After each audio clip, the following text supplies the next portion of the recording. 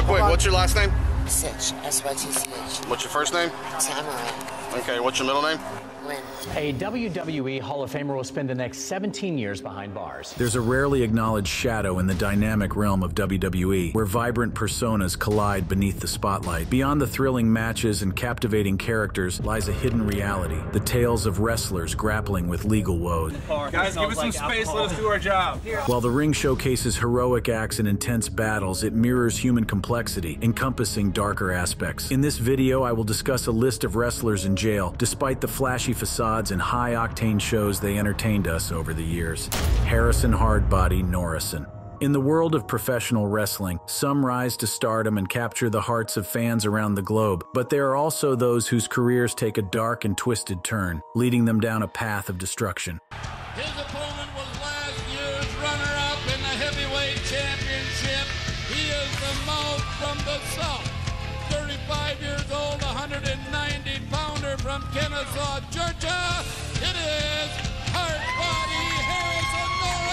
One such wrestler is Hardbody Harrison, whose real name is Harrison Norris Jr. Known for his impressive physique and peculiar ring attire, Hardbody Harrison never managed to break through to the top of the wrestling world. He was often relegated to the preliminary level, losing to more established stars on WCW Monday Nitro. However, his journey to the wrestling ring was far from ordinary. Before stepping into the squared circle, Harrison had a different kind of battle to fight. He served in the United States Army overseas during Operation Desert Storm, experiencing the harsh realities of war firsthand. After his military service, he found solace and purpose in professional wrestling. Harrison's wrestling career began when he trained at the prestigious WCW Power Plant, a renowned training facility for aspiring wrestlers. With his military background and dedication to physical fitness, he quickly caught the attention of WCW officials. In 1995, he made his debut with World Championship Wrestling, hoping to make a name for himself in the industry. However, Harrison's time in WCW was short-lived. In 2001, the company was purchased by Vince McMahon and the WWF, leading to significant changes in the wrestling landscape. Unfortunately, Harrison's contract was not picked up, and he found himself without a place in the wrestling world. This marked the end of his professional wrestling career, but little did anyone know that his story was far from over. Upon leaving the ring, Harrison became entangled in a legal battle that would further tarnish his reputation. He was a party to a multi-plaintiff lawsuit filed by Sonny Onoo on behalf of WCW talents against their former employer, AOL Time Warner. The lawsuit alleged racial discrimination within the company, and Harrison, along with other performers, sought justice for what they believed was mistreatment. The lawsuit would eventually be settled out of court, with all the performers, including Harrison, reportedly receiving a substantial financial settlement. It seemed like a new chapter was about to begin for Harrison, but little did anyone know that his life was about to take a dark and disturbing turn. Following his departure from WCW, Harrison found himself competing in the FX series, Toughman. This show showcased the toughness and fighting skills of everyday individuals, and Harrison managed to capture the show's heavyweight championship in 2000. It seemed like a glimmer of hope for his career, but it was merely a fleeting moment of success. Somewhere along the way, something went terribly wrong for the former wrestler, bodybuilder, and fighter. The dark secrets that had been lurking beneath the surface were about to be exposed,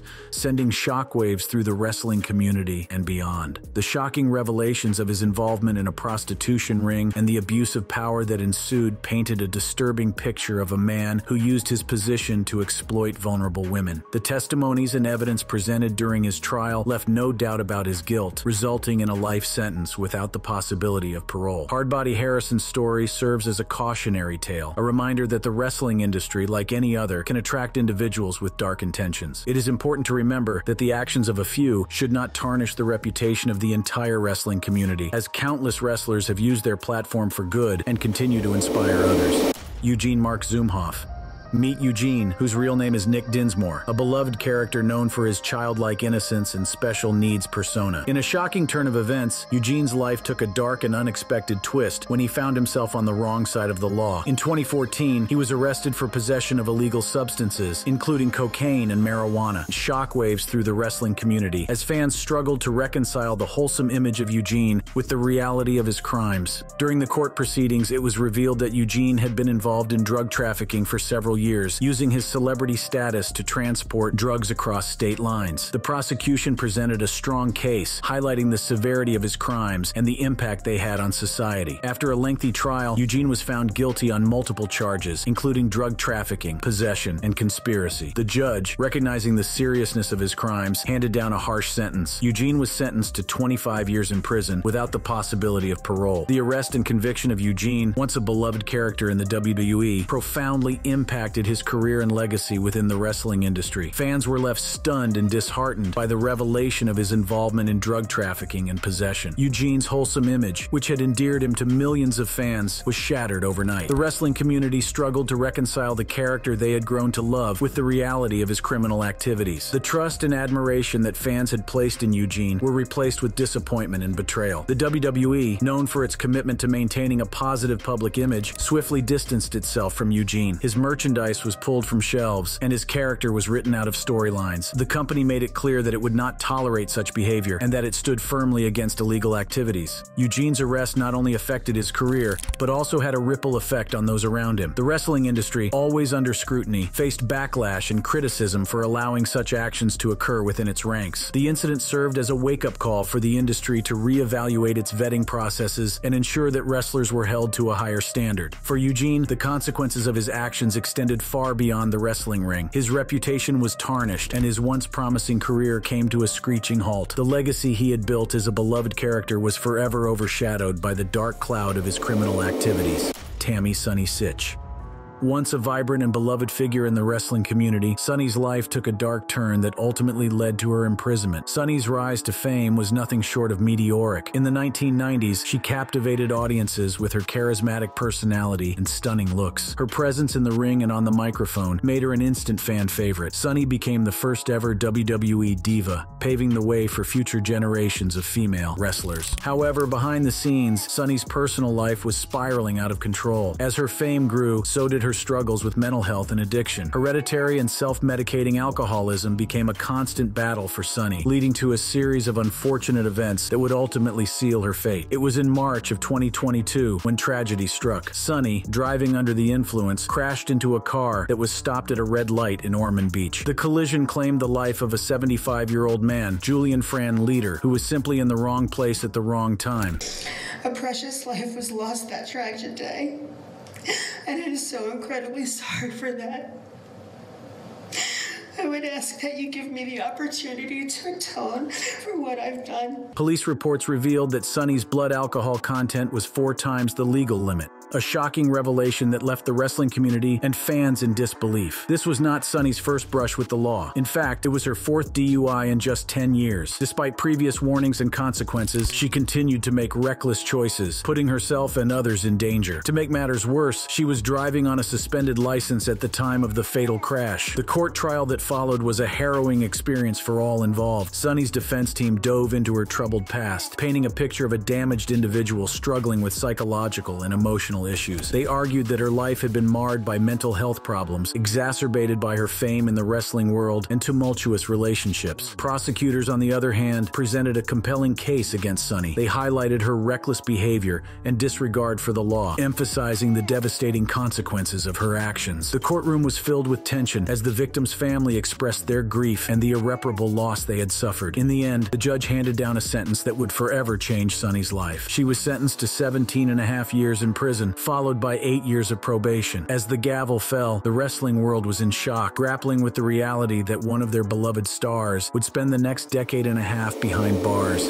Patrick Velveteen Dream Clark, a rising star in the WWE, captured the attention of fans with his unique persona and captivating in-ring performances as Velveteen Dream. But behind the flamboyant character, a darker side was lurking. In November 2021, Clark's world came crashing down when he was arrested on multiple charges. The list of offenses was extensive and painted a troubling picture of his involvement with illegal substances and attempts to conceal evidence. The charges included possession of cocaine, use or possession of drug paraphernalia, destroying slash altering slash concealing physical evidence, and even having no lamps or illuminating devices in his vehicle. It was a shocking revelation that left fans and fellow wrestlers stunned. The arrest sent shockwaves through the wrestling community, tarnishing the reputation of a once promising talent. But that was just the beginning of Clark's legal troubles. On April 21, 2022, Clark faced the consequences of his actions when he was sentenced to a 12-month probation period for the November arrest. This probation was meant to hold him accountable and provide rehabilitation opportunities. The probation period was critical for Clark to reflect on his choices and make positive changes in his life. It was a chance for him to prove that he could overcome his past mistakes and rebuild his career. However, just four months into his probation sentence, Clark again found himself in trouble with the law. This time, the charges were even more shocking and disturbing. On August 20th, 2022, Clark was arrested for trespassing on the property after a warning and first-degree battery. The details of this arrest were truly alarming. According to police documents revealed by TMZ, Clark allegedly bit, punched, and even threatened to kill a gym employee at Club Orlando when asked to leave. These violent actions painted a troubling picture of Clark's behavior and raised serious concerns about his future in the wrestling industry. It was a shocking turn of events that left fans and fellow wrestlers questioning who the real Patrick Clark was behind the larger-than-life character of Velveteen Dream. The consequences of Clark's actions during his probation period would significantly impact his future. The wrestling community was left wondering if he could ever redeem himself and regain the trust of fans and colleagues. Teddy Hart as we continue to dive into the world of WWE wrestlers currently rotting in jail, we cannot ignore the shocking case of Teddy Hart. Born and raised in Calgary, Teddy Hart, whose real name is Edward Ellsworth Annis, comes from a wrestling dynasty. The grandson of pro wrestling legend Stu Hart, Teddy Hart has made a name for himself in the wrestling industry. However, his career has been marred by a series of legal troubles that have landed him in hot water. The story begins in July 2023 when Teddy Hart was pulled over by the police in Titusville, Florida. The reason for the traffic stop stop was speeding and failing to obey a red light. Little did Teddy Hart know that this routine traffic stop would lead to a series of shocking discoveries and ultimately his arrest. Upon approaching the vehicle, the officer immediately noticed a strong smell of burned cannabis emanating from inside. This raised suspicions and prompted a thorough search of the car. What the officer found was truly astonishing. An unsealed medical marijuana container was discovered, along with a female passenger in the car, but that was just the tip of the iceberg. In a fanny pack, the officer stumbled upon a zipper lock bag containing a mysterious blue powder. To make matters even more alarming, Teddy Hart's Canadian and U.S. passports were also found in the fanny pack. The officer wasted no time conducting field tests on the blue powder, and the results were shocking. The powder tested positive for MDMA, commonly known as ecstasy. This revelation sent shockwaves through the wrestling community and left fans and fellow wrestlers in disbelief. But the surprises didn't end there. The officer also discovered red pills and powder stored in an eyeglasses case, which also tested positive for MDMA. The evidence was piling up against Teddy Hart, and it seemed like his legal troubles were far from over. When questioned about the drugs, Teddy Hart initially claimed that the powder and pills were a proprietary blend of MDMA-C and admitted that the bag was his. However, his story quickly changed when the officer found two vials of pills in the fanny pack. In a desperate attempt to defend himself, Teddy Hart exclaimed, I have a prescription for those. These conflicting statements only added to the complexity of the case and raised questions about the legitimacy of his claims. The charges Teddy Hart faces are serious. Possession Possession of a controlled substance without a prescription and possession of MDMA are both third-degree felonies in Florida. Teddy Hart could face severe consequences, including imprisonment and hefty fines if convicted. The wrestling world, once filled with admiration for his talent, now watches as Teddy Hart's legal battles unfold. This arrest is not the first time Teddy Hart has found himself on the wrong side of the law. In 2020, he evaded arrest in Texas, adding to his troubled history. It seems that Teddy Hart's personal demons have caught up with him, and he now faces the harsh reality of the legal system.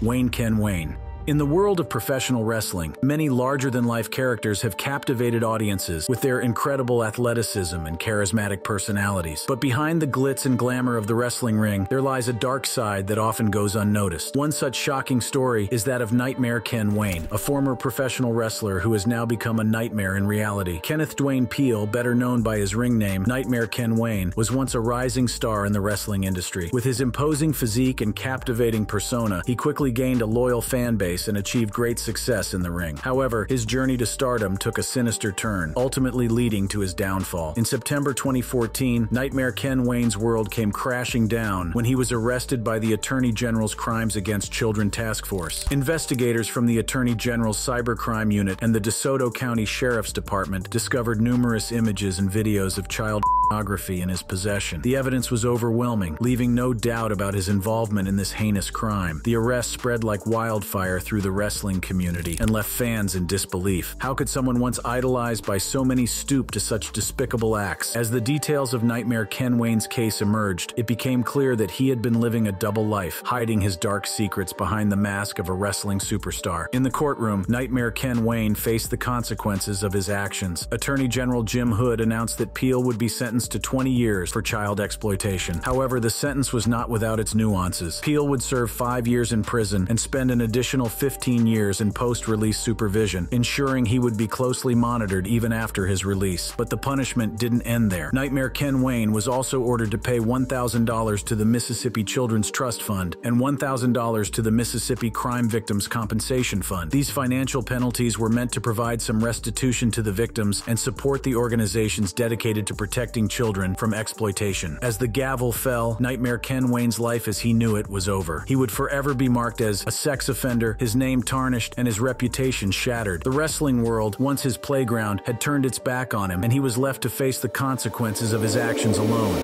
Devin Hannibal Nicholson, it was a shocking revelation that sent shockwaves through the wrestling community. Devin Hannibal Nicholson, an independent wrestler and YouTube interviewer, found himself amid a legal storm. According to PW Insider, Nicholson was arrested on charges of assaulting a woman and is set to stand trial on October 12th in Kingston, Ontario, Canada. The incident occurred a month earlier, from August 8th to August 29th, as indicated by Nicholson's YouTube account, which showed him in Kingston with his girlfriend. While it is presumed that the woman involved was his girlfriend at the time, the exact nature of their relationship has not been confirmed. Following his arrest, Nicholson was incarcerated and recently appeared before the Ontario Courts of Justice for a bail hearing. The hearing took place at 9 a.m., and the outcome of the hearing resulted in his release under the supervision of his parents. As part of his release conditions, Nicholson must stay with his parents or maintain daily contact with them. Furthermore, he is prohibited from having any contact with the victim. The fact that Nicholson, who is nearly 40 years old, has been released under the supervision of his parents has raised eyebrows. Some have drawn comparisons to fellow wrestler Colt Cabana, who famously had a joint bank account with his parents. However, it is important to approach these comparisons with caution, as they may be seen as a low blow. While not much is known about Nicholson personally, some individuals who have interacted with him in the past have described him as a good guy. However, the recent arrest for domestic violence has cast a shadow over his reputation. It is worth mentioning that this is not the first time Nicholson has found himself in legal trouble. Approximately a year ago, he was involved in an altercation with a referee, resulting in assault charges. The wrestling community has been divided in their opinions on Nicholson's arrest. Some believe that there may be more truth to the allegations than meets the eye, as domestic violence arrests often carry weight. Others are hesitant to pass judgment without knowing the full details of the situation. It is important to remember that court proceedings will ultimately determine his guilt or innocence. Before this incident, Nicholson gained attention for his legal battle against wrestling legend Abdullah the Butcher. Nicholson had contracted hepatitis C from Abdullah during a match, which led to a multi-million dollar settlement. However, according to Abdullah, he did not have the financial means to pay Nicholson any compensation. Lawsuits in the wrestling industry can be complex, and winning a case does not always guarantee financial restitution. Nevertheless, these legal battles make wrestling unique, as they unite a diverse array of personalities and individuals. In the case of Devin Hannibal Nicholson, it is important to remember the principle of innocent until proven guilty.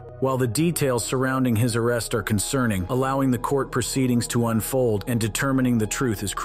It is possible that this incident may be a result of a misunderstanding, but only time will tell. The incident involving the referee in Texas, which occurred late last year, remains unexplained. If the reports are accurate, it was a blatant act of assault. The exact cause of the altercation is unknown, although there have been rumors of alcohol being involved. It is not uncommon for any occupation to have individuals with odd behavior, and it is hoped that Hannibal is not one of them. However, given the recent events, it is difficult to say for certain. Brett DiBiase Dale Brett DiBiase, a name once synonymous with wrestling greatness, now finds himself at the center of Mississippi's largest welfare embezzlement scandal. This scandal, considered the biggest in the state's history, has tarnished DiBiase's reputation and left a stain on the wrestling industry as a whole. Born into a wrestling dynasty, with his father being the legendary Million Dollar Man, Ted DiBiase, Brett seemed destined for success in the squared circle. He had the looks, the charisma, and the talent to become a true wrestling superstar. But little did anyone know that a sinister plot was unfolding behind the scenes. It all started with allegations of a vast embezzlement scheme that siphoned millions of dollars from the Temporary Assistance for Needy Families TANF program. And at the center of it all was Brett DiBiase. According to court documents, DiBiase is alleged to have falsely claimed payments totaling $48,000 through his company, Restore 2 LLC. But that's not all. He's also accused of falsifying invoices and other uh, documents to cover up the fraud. Instead of teaching classes about drug abuse, as he was supposed to, investigators discovered that he was living a life of luxury at a rehab facility in California. While low-income residents were meant to receive counseling and treatment for substance abuse, DiBiase was enjoying the comforts of a luxury rehab facility, far away from the responsibilities he had promised to fulfill. The investigation into this scandal revealed a web of deceit and manipulation that shocked the entire state. The fraudsters created false invoices to pay DiBiase for services he never provided, all under the guise of a wellness program for those in need. It wasn't until a brave whistleblower came forward, alerting authorities to the suspicious transactions, that the scheme began to unravel. This revelation prompted a sweeping investigation that led to multiple arrests and convictions, exposing the true extent of the embezzlement scandal. As the evidence mounted against him, Brett DiBiase found himself facing the consequences of his actions. In addition to his sentence in state court, he now faces up to five years in federal prison and a hefty fine of $250,000. The downfall of a once promising wrestling star serves as a stark reminder that fame and fortune can sometimes lead individuals down a treacherous path. This scandal's impact has affected DiBiase's personal life and left a lasting mark on the wrestling community.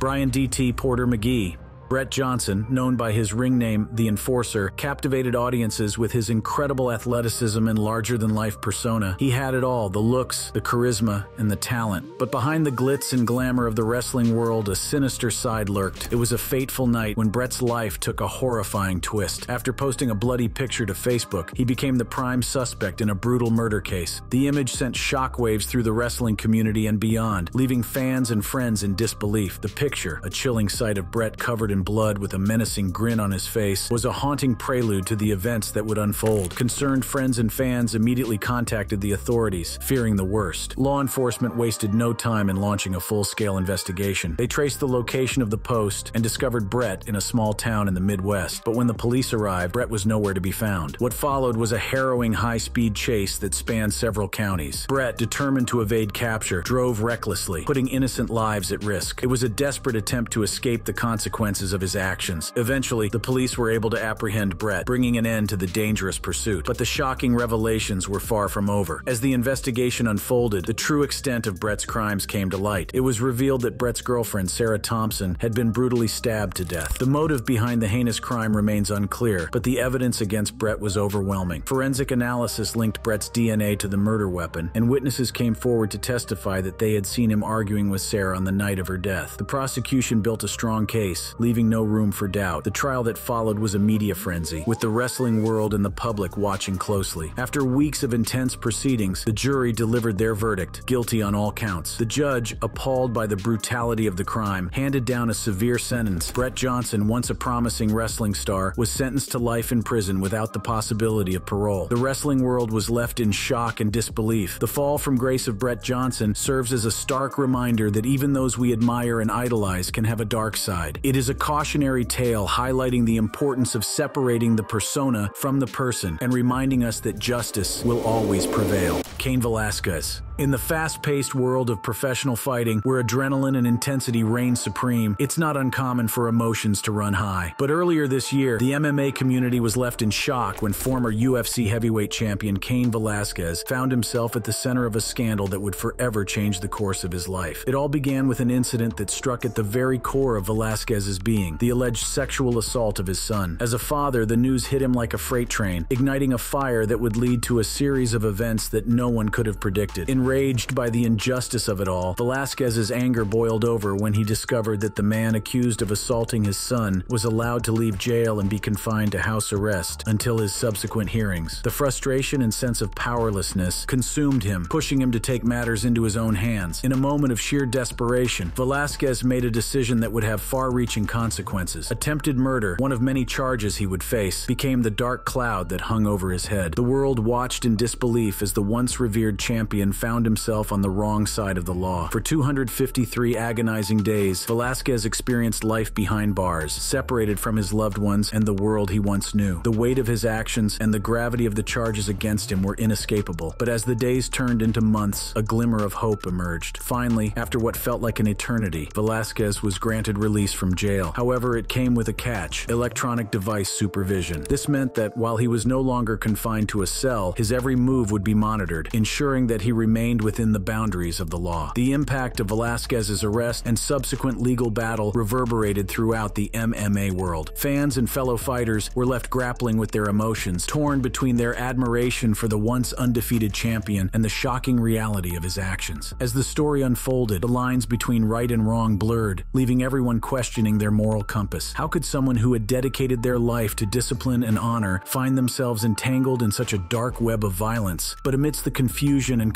controversy, one thing remained clear. The sport of MMA would never be the same. Velasquez's fall from grace was a stark reminder that even the most revered heroes are not immune to the temptations and pitfalls of the human experience. If you enjoyed watching this video, check out our other awesome videos on the channel. Thanks for watching, and we'll see you in the next video.